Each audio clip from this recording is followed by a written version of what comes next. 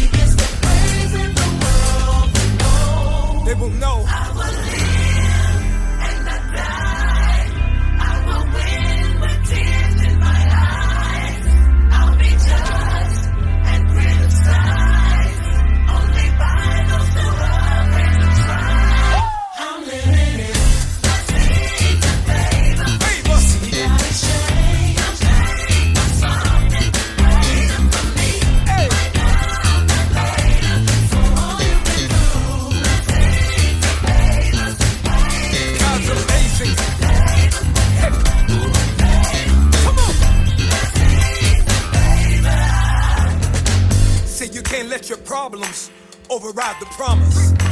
And don't let your feelings dictate your faith. I was too afraid to believe it.